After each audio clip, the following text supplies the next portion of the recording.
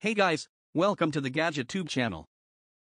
In this video we're going to be checking out top 5 best gimbal for DSLR 2021 you can buy right now. I made this list based on my personal opinions and our research and I've listed them based on quality, features, and I've included options for every type of consumer. So whether you're looking for best gimbal for DSLR have the products for you. If you want more information and updated pricing on the products mentioned be sure in the description below. Also, make sure you subscribe to stay up to date with the latest technology reviews video. Okay so let's get started with the video.